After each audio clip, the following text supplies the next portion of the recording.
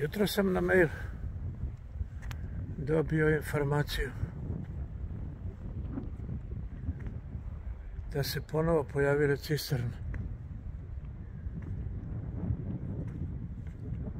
Znate ono koga zmije ujed? Ja bi da verujem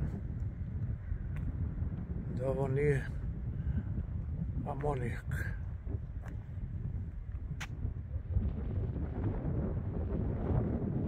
Gospođa ovdje na stanici mi je rekla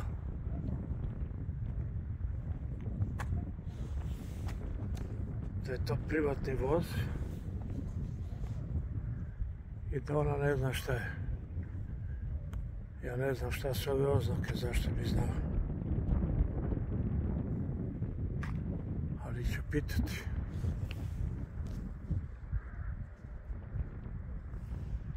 Na carini valjda znaju.